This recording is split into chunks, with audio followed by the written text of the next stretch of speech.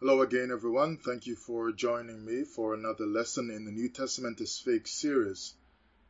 This is lesson number 184, and uh, my title today is Apostle Paul Lies About Creation.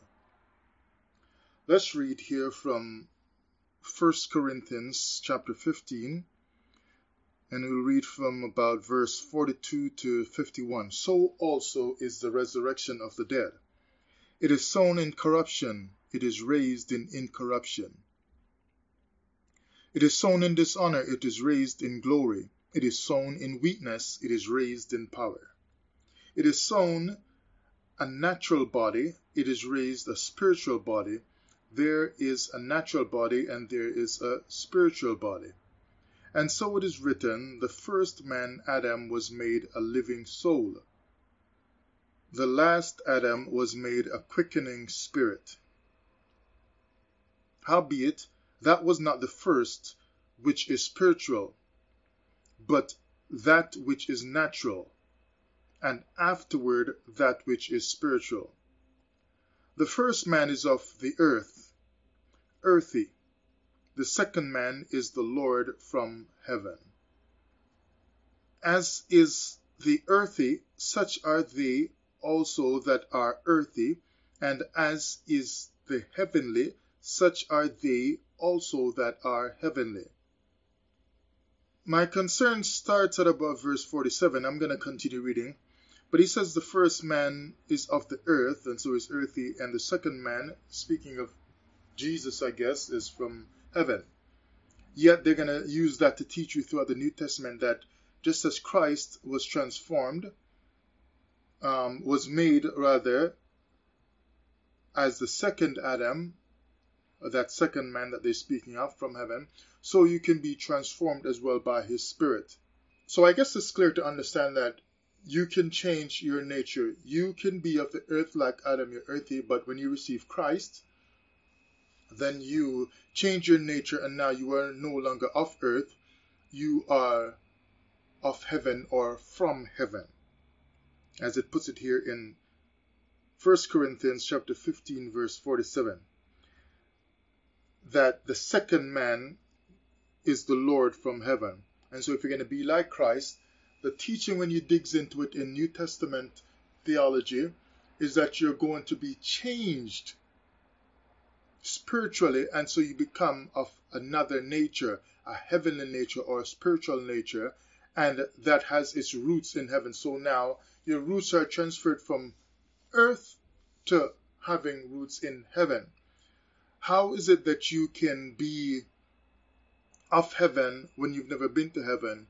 If you were born of earth, of Adam, you must be of earth, of Adam, no matter what that means not only your physicality but also your spirituality is of earth, is of Adam. Because the only spirituality you know is spirituality that you got from what goes on on earth. That is why so called spiritual teachings of the Bible has to bring an, a spiritual experience to you on earth because your spiritual experience is earthly.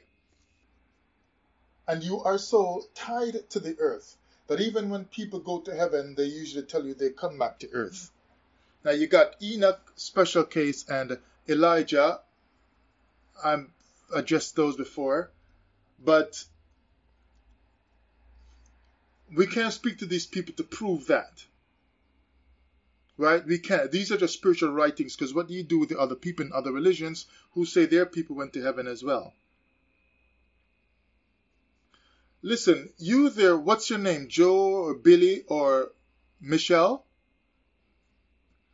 You can have a spiritual experience right now. You tell somebody that you went to heaven in your sleep or while you're meditating or while you're praying and reading your Bible and having your devotions, you were like caught away in the spirit and you had a moment and you went to heaven. Seemed like probably about uh, half an hour you were gone and you saw all kinds of beautiful things in heaven and whatever. And then by the time you came back, your devotion just stopped because the, the whole sensation just changed. People tell stories like that all the time.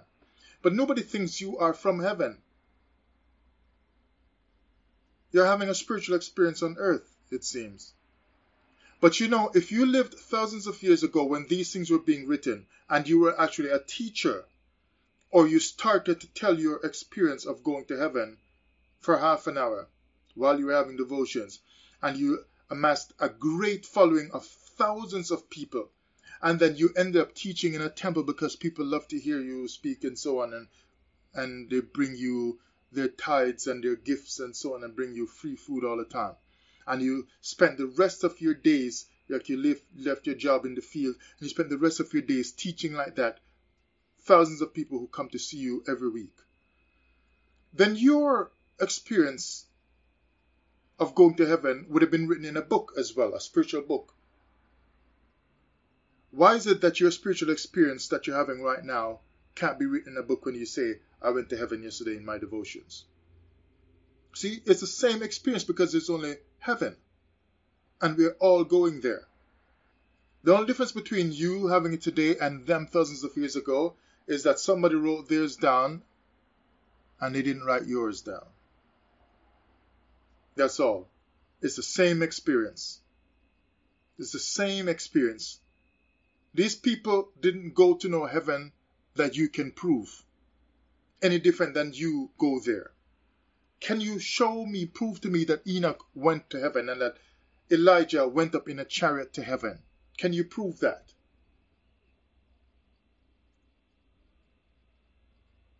It's just the same experience that you're having. It's a story that you would tell, but nobody would actually think that you actually went to heaven. They would just say you had a spiritual experience if you were telling them yesterday. They would just say you just had a spiritual experience, like some strong vision or something in your mind. You got caught away or raptured in your mind into this vision like kind of feeling. They'd say you had a spiritual experience no different from what they would have had back then. Nobody can prove that people go to heaven. So let's go on here. Verse 48 As is the earthy, such are they also that are earthy, and as is the heavenly, such are they also that are heavenly. And as we have borne the image of the earthy, we shall also bear the image of the heavenly. That is a red flag right there. And verse 49, again, on top of all the other lessons I've taught in my New Testament is fake series, shows that the New Testament is fake. 1 Corinthians 15 49. I'm going to be explaining it as I go on. Now, verse 15 Now this I say, brethren, that flesh and blood cannot inherit the kingdom of God, neither doth corruption inherit corruption. I just a long time ago as well, the Hebrews had their kingdom. The Most High took them out of Egyptian bondage and he put them into a land of their, of their own. There was a, an Israelite kingdom. They were ruling all over the place, beating up people and with the power of God and miracles from heaven, lightning and thunder and fire and brimstone and death angel, all kinds of stuff happened in the Old Testament they had a kingdom and they were were they spirit? No, they were flesh and blood. And they inherited an earthly kingdom over there in the so called Middle East, an earthly kingdom, and there were still humans, there were still people, flesh and blood. That's why when the enemies came to fight with them, the enemies brought swords and daggers and spears and so on, because they were fighting people who were flesh and blood. So the Hebrews were in the kingdom of God given to them. So this here says, flesh and blood cannot inherit the kingdom of God. They had the kingdom of God living in it was Israel. That was the kingdom of the Most High, which he says he will reestablish in like Isaiah 2. Right? But this just really seems strange neither doth corruption inherit corruption. 51 and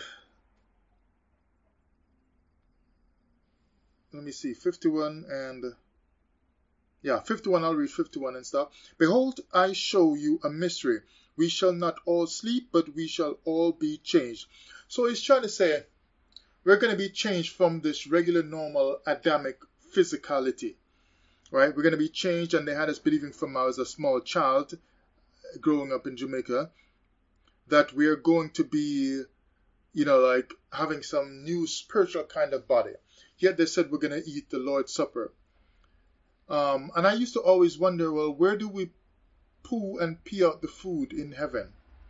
So it makes me wonder what's Enoch and Elijah doing when they need to go to the bathroom. It sounds funny to you.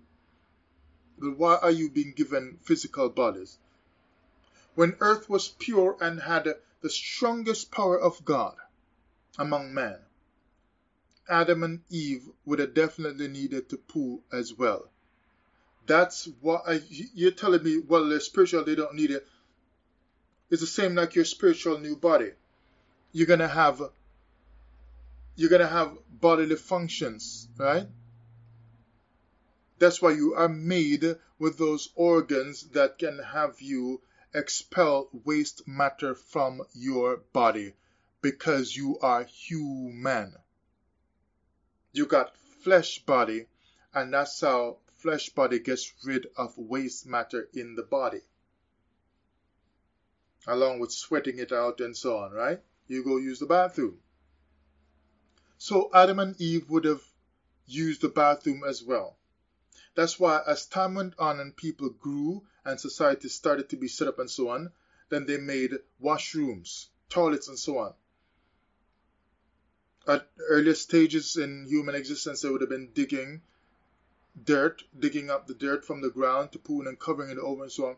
Because they were human. Well, if they came from Adam, although we know this whole Adam stuff is a trick, but if they came from Adam, then Adam would have been doing the same thing. Eve would have been doing the same thing. Because as they ate the fruit from the trees, they would have had to push the stuff back out of their bodies. You're telling me Elijah Enoch wouldn't need to do that as well? We know they're eating because you need food in heaven. Because the New Testament says we're going to eat a Lord's Supper, big Lord's Supper after the rapture up in heaven. So it's telling you and the trees for the healing of the nations and so on. It's telling you that your body, even in heaven, is still going to need food. In the kingdom of heaven or the kingdom of God, you're still going to need food in your physical body. So what's this second man is from heaven and like you don't need all this stuff? So the second man who's from heaven needs all bodily functions like the physical first man on earth? Let's look here now. From Genesis chapter 2, right? Because I'm going to show you now how Apostle Paul lied about creation. Because in all this talk here, they're saying, oh, the first man is from the earth, and the second man, the first man is made from corruption, but the second man is from heaven, and through him there is no corruption, and so on.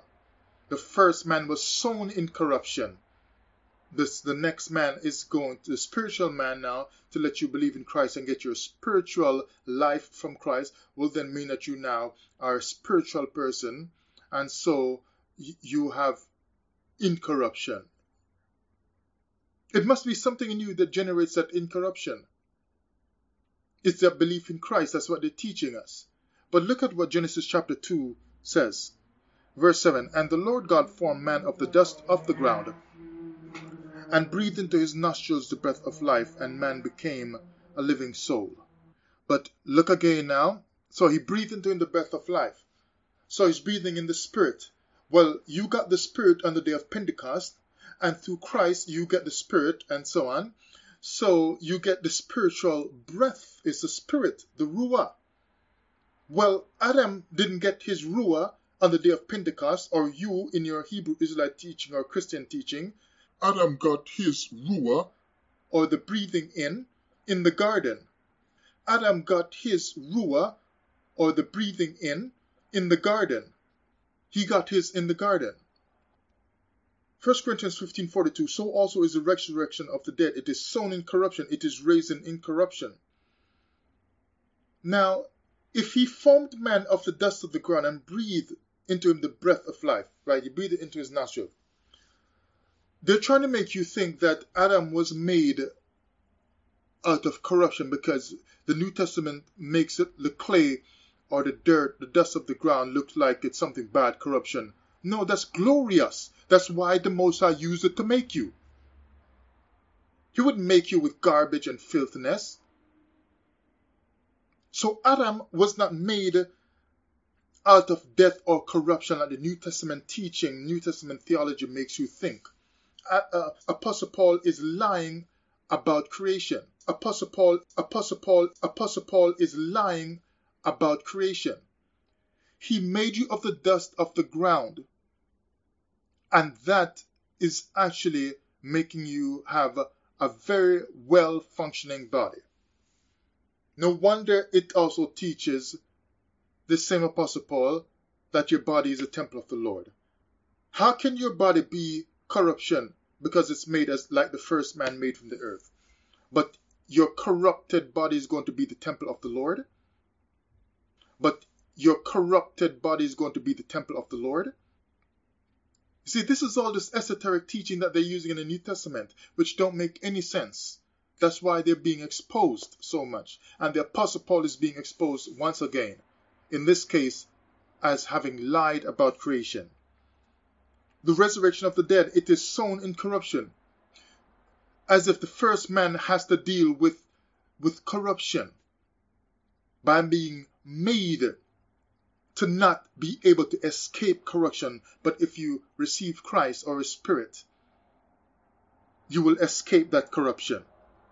Because he says here now, it is sown in corruption, it is raised in incorruption, meaning that through Christ, you're going to get incorruption through his spirit. That's what it's really trying to say to you. But look here now, Genesis chapter 2, verse 7 again.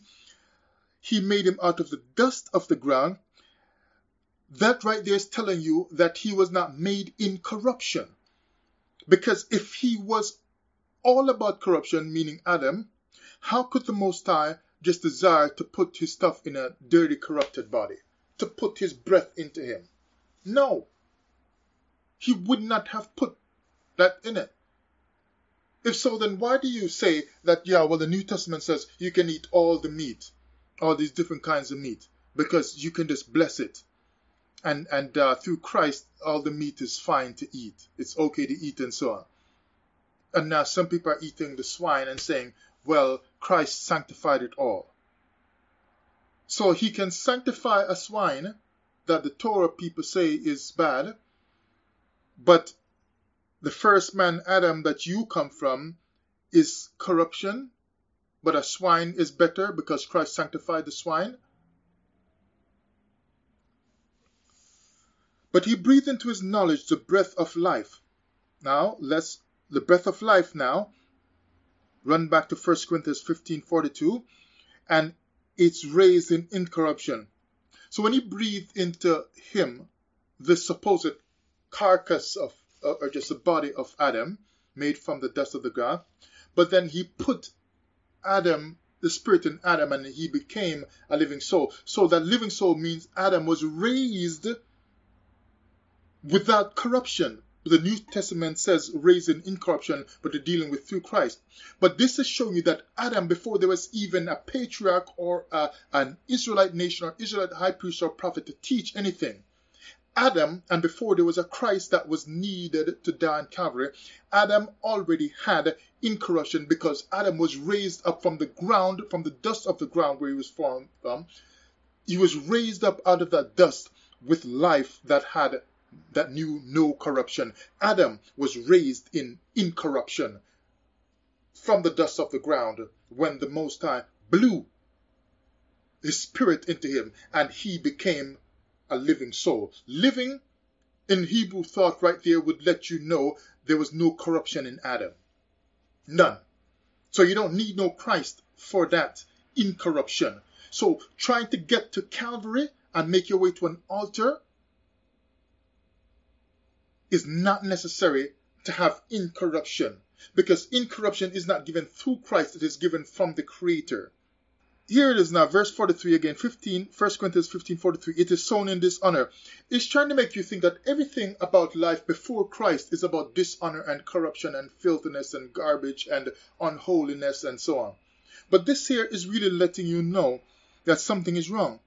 Paul is lying about creation because Adam would not have been sown as the first man, the first example of what all men should be, could not possibly have been sown by the creation in the earth, the dust that he came out of, in dishonor and corruption. Because what's the Most High trying to communicate? There'd be nothing to go back to. Like we're saying, give me that old time religion, I want to go back and and so on, in reaching back for original things, pristine conditions, and so on. So the pristine, the original condition of Adam would have had to be pure, not something that is low down and disgusting and unholy and unsanctified, like the New Testament is trying to make you think. Paul is lying about creation. Adam was made pure. In fact, let me see if I can find this one. Hold on. Now look at this. Ecclesiastes chapter 7 verse 29. Lo, this only have I found that God hath made man upright. So Paul is lying and he says he's an apostle. He has made man upright, but they have sought out many inventions. So he made man upright. That means pure, right, righteous, in good standing with God. That's why they usually say there was a fall. How could you have fallen if you were always corrupted? Right? So he made man upright. So Adam was not raised from the ground in corruption. Sorry, uh, yeah, with corruption. He started out as pure, as righteous before God, had a good relationship according to the Torah until they supposedly fell. All right? So Apostle Paul is lying. And so 1 Corinthians 15:43 again, it goes on to the latter part of that verse sown in weakness, it is raised in power. Trying to make you again think that Adam had some weakness and so on. He had great spiritual strength. You say you are stronger because of the commandments, the Torah that you received from God and the nation of Israel was the strongest in terms of purity on earth because they received the, the, the, the covenant with God. Well, it, what would have Adam have received? He got the Torah right there placed right into him. The Spirit itself, the source, was breathed into him. It is sown a natural body, it is raised a spiritual body. This, this, is, really, this is really ridiculous. Um, the first Adam was made a living soul, the last Adam made a quickening spirit. Well, if it didn't quicken Adam, how did he get up and become a living soul? It's the same idea. It says the quickening means to produce alive right, to cause to live, make alive, by spiritual power to arouse and investigate. Investigate. And that there is 1 Corinthians 15, verse 45, where it says, a quickening spirit. Adam was made a quickening spirit the last Adam, excuse me, made a quickening spirit, talking about Jesus. And so then you would then receive the same quickening spirit from the Messiah if you believe in the New Testament Christ. But really, the first Adam got up with the quickening spirit when the Most High breathed the breath of life into him, and he began to investigate, like the word quickening means right here. Adam got up and investigated his surroundings and the Most High, the Creator, was helping him with his investigation by giving him some preliminary instructions eat from this tree and that tree and so on, but don't touch this, don't eat from this one, and so on and so forth, right? So he gave himself and he says, Name the animals. Adam was, Adam woke up, so to speak, with investigation that the Creator participated in, in helping him investigate by giving him those knowledge. All right? So this Apostle Paul here is out to lunch. He's lying about creation. Verse 49 And as we have borne the image of the earthly, we shall also bear the image of the heavenly. Again, Apostle Paul is lying about creation because look now what creation says. You know very well. Genesis chapter 1, verse. Because they're making you think that you're only going to get this, this image of the Spirit from Christ in the New Testament. No, before there's ever Jesus Christ known on earth, Adam got that according to the Torah. Verse 27, Genesis 1. So God created man in his own image, but they're telling you that Apostle Paul is saying the image is of Christ when Christ came. And the whole thing blew up in his life and death and resurrection and so on, and then outpouring of the Spirit on the day of Pentecost. He's saying you can get it through that Christological experience. You'll get that image, that heavenly spiritual image. But Adam already got the heavenly spiritual image in Genesis 1 and verse 27. So God created man in his own image and in the image of God. So he bypassed the so called Son that they so called said was sitting up in heaven at the right hand of God on some smaller throne. But Adam got his image directly. So Adam did not associate with an image of Christ. Adam did not believe in Christ. He did not believe in the Messiah. He did not teach a Messiah. He did not do any of that stuff. But Adam bypassed any so called Christ because really he never knew any Christ and Christ was not necessary to Adam. But he went right to the source and got his image from God because God gave it to him. And in the image of God created he him, male and female created he them. So they both got the image. They didn't need any image from Christ. Apostle Paul is lying about creation. Apostle Paul is lying about creation.